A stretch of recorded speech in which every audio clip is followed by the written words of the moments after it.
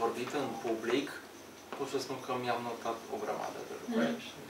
Eu, mă rog, și eu țin discursuri mai, mai scurte sau mai lungi în funcție de audiență și de timpul rezervat, dar am luat niște uh, tipsuri foarte bune, tipuri foarte bune. Deci chestii care m-au ajutat enorm.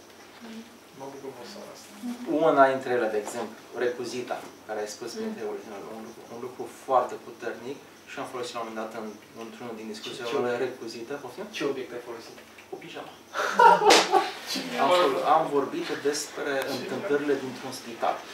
Întâmplări hazii despre Da. spital și atunci am luat pe mine o pijama. Oh, Uh, Pot să spun că aici dreptate, bine, am făcut-o, mă zicem, inconștient, adică nu am folosit recuzita ca să fac, dar pot să spun că a avut un impact foarte, foarte mare și confirm lucrul ăsta.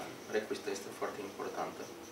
La fel, un lucru foarte important pe care l-am reținut uh, de la tine, să te adresezi publicului, mă rog, în funcție de public, dacă Mhm. este specializat sau publicului larg, și să-ți adaptezi discursul pe public. Mhm. Este foarte important așa. Mhm. Momentan atât am mai multe, dar mai sunt Mhm. și încă două zile la un spate.